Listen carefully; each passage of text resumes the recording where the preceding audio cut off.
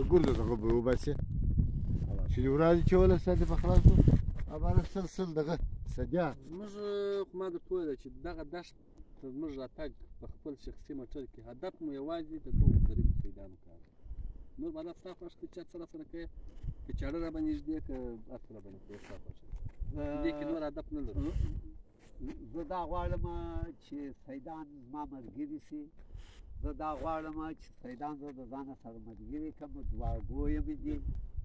د دوی د پښو خاوره یو ګوند خدای د دوی بغل کې مور لاندو کې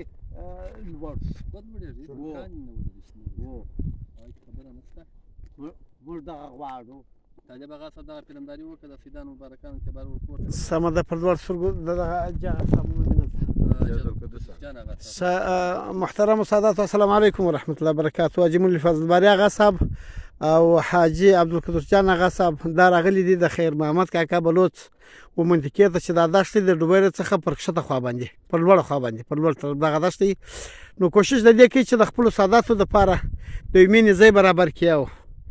دغه د پاره د سوګنې ځای برابر کړي د مزکه تلاش ورته کوي الله د دوی خدمتونه قبول کړي محترم دا ډیر غټ دښتې د ډیر غټه منطقه ده نو اجا غم بارک د اخته د خیر محمد کا کسر کلم او فکر ته ورسول وروره دا ډیره ښه منطقه ده ډیر ښه ځای دی الله دې دا جاغه او خدمتونه پر خپل دربار قبول کړي او کار چا د دغه ځای خواهش درلود هغه بیا په شخصي کې دا جاغه سره معلومات نیسي اوس هغه د تر دغه اندازې پر کوشش کړی چې دغه منطقه تر اخلي